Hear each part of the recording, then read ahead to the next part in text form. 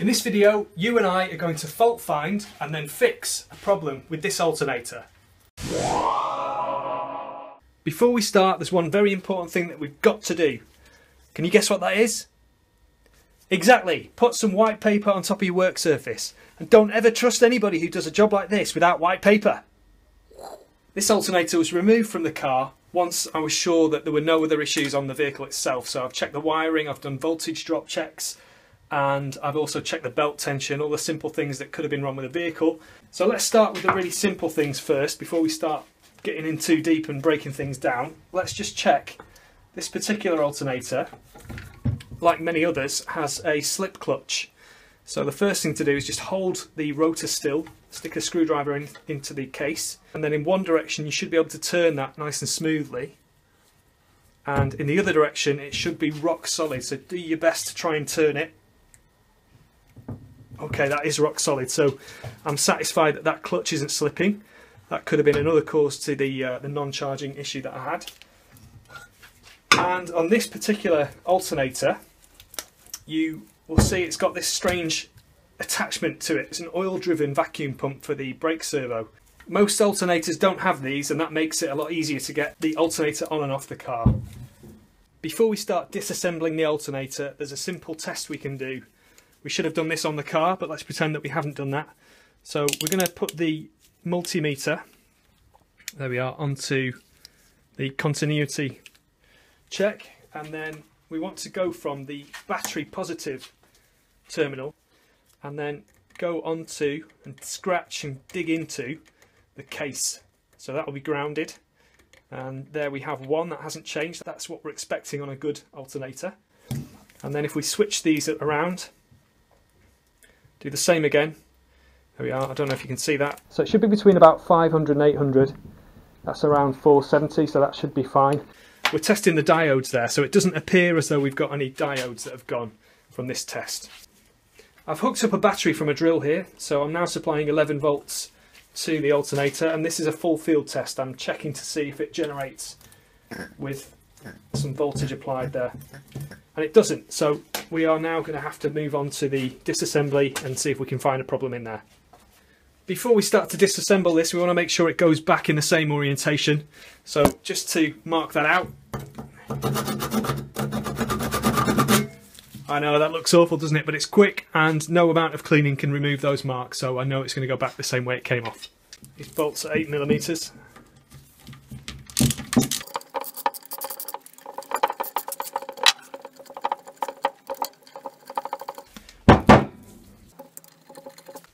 Just giving these a, a, gentle tap with a hammer just to get them started and then afterwards I can wedge it apart with a flat blade screwdriver. There we go, that's it started.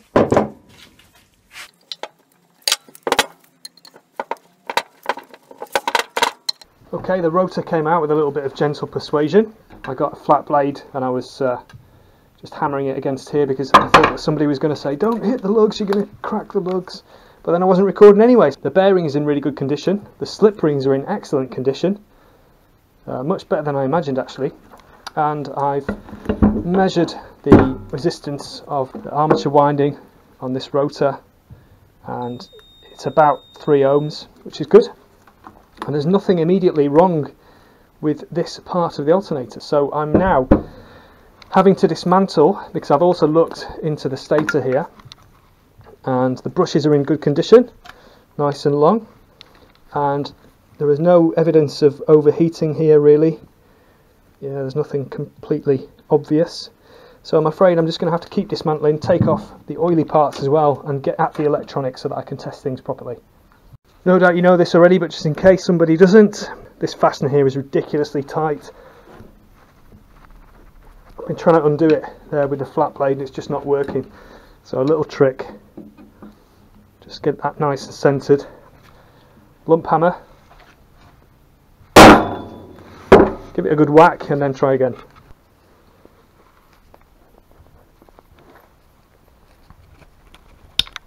There she goes. Got these three fasteners out now.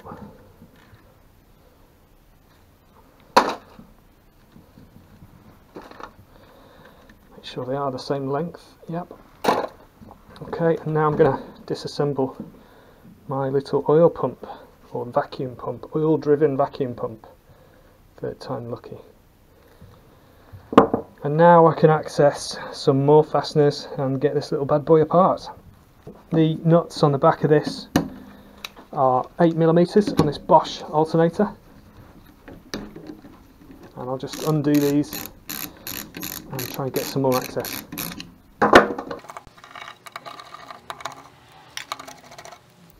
Nuts have got little captive washers with them. And it looks as though this is going to have to come off as well, the stud.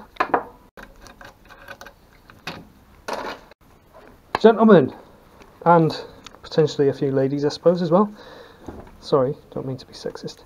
I think I may have found a problem.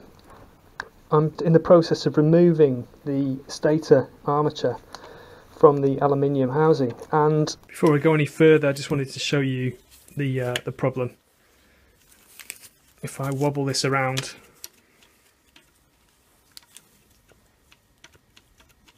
this is going to one of the windings, and that should be connected here electrically and mechanically.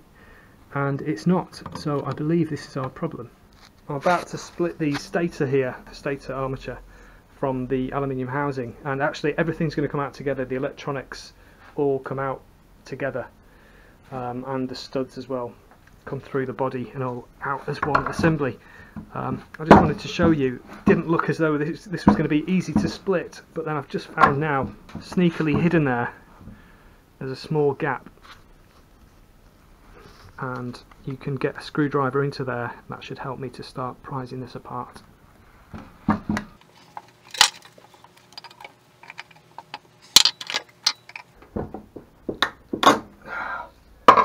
There she comes.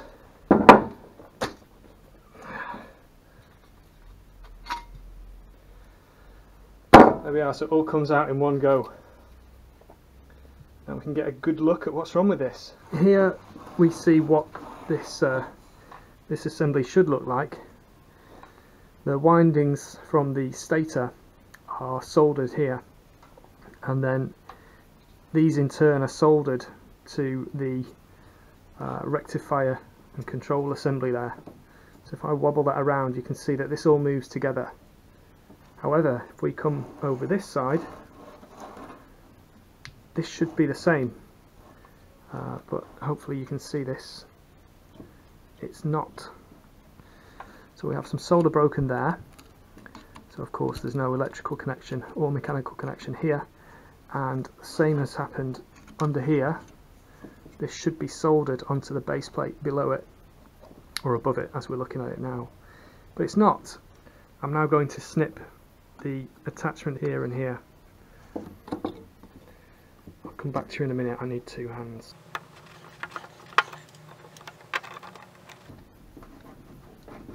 there we go that's this one done so I'll do the second one now and then that will release this okay I've got these all snipped now I'm just going to withdraw. There we are. Now we've got this separated, we get a really good view of the rectifier and regulator assembly. And this is most definitely our problem. As that's started to work loose, it will have started to arc and overheated, hence the melted plastic that we can see just here. So this is kaput.